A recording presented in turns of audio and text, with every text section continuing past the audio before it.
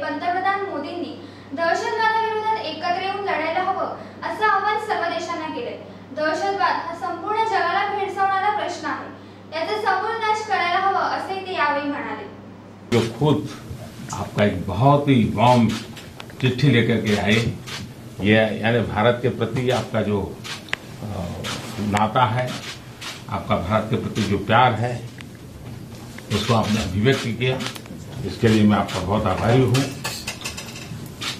Pompeo Bharat आए थे, कई विषयों पर चर्चा हुई है, मुझे अच्छा लगा।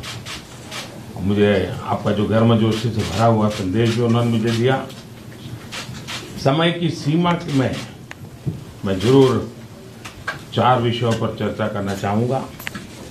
ईरान 5G हमारे द्विपक्षीय संबंध और रक्षा संबंध। इन विषयों पर हम ज़रूर चर्चा करेंगे। और भारत और अमेरिका के संबंध एक दूरगामी और सकारात्मक विजन के साथ आगे बढ़े, इसके लिए हम कमिटेड हैं और उसके लिए हम प्रयास करते रहेंगे। मैं फिर एक बार आपने समय निकाला, यहाँ मिलने का अवसर मिला। बहुत खुशी व्यक्त करता हूँ।